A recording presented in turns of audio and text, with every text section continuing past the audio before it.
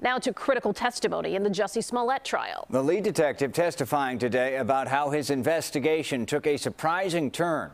CBS 2's Charlie De Mar has been covering this story for years. He was in the courtroom today, joins us now live. Charlie, the detective said there was no rush to judgment in this case.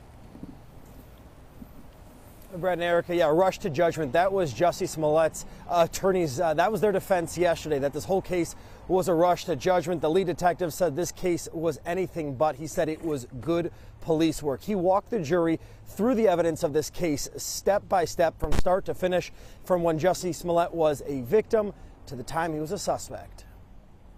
Detective Michael Theis, the lead detective on the Jussie Smollett case, says about 25 Chicago police officers spent more than 3,000 hours and collected 1,500 hours of surveillance video to help solve the vicious hate crime actor Jussie Smollett reported January 29, 2019, making it clear that Smollett was the victim at first. Detective Theis told the jury this was horrible. The crime was a hate crime. There was a noose, there was bleach.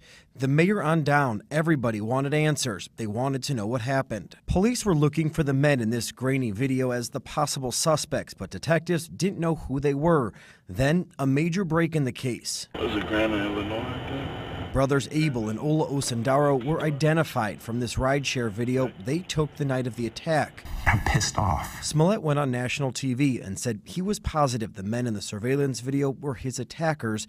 Detectives thought they solved the case. I don't have any doubt in my mind that that's them. So what's going on here? Might be in custody. Once in custody, the brothers told investigators it was all a hoax.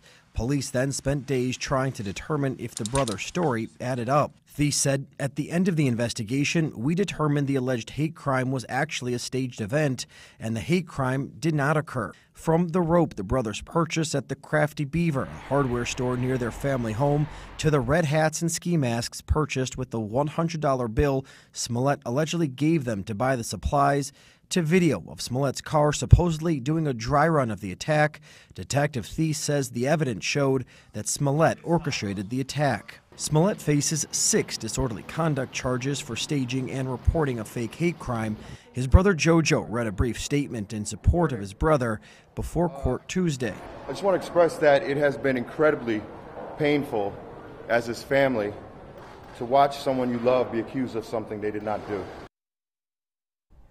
And during cross-examination, Jussie Smollett's attorneys, they brought up some um, what they considered homophobic social media from one of the brothers. Uh, they did ask that lead detective. The lead detective has been on the stand for much of the day. Uh, Judge Linn expects court again to go till about 7 o'clock tonight again. We are live from the Leighton Criminal Courthouse. Charlie De Mar, CBS 2 News.